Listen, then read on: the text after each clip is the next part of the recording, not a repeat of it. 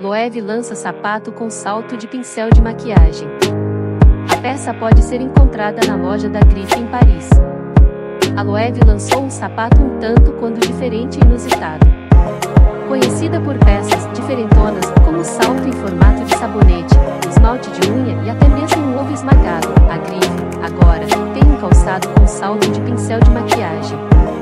As sandálias em questão possuem tiras, pretas ou com salto baixo. Apesar de ainda não estar à venda, ela já pode ser encontrada na loja da marca em Paris. O valor do item ainda não foi divulgado. Se você chegou até aqui e quer aprender a se maquiar igual as blogueiras, clica no primeiro link aqui na descrição e venha conhecer o meu curso de maquiagem online. Eu te espero lá. Um grande beijo!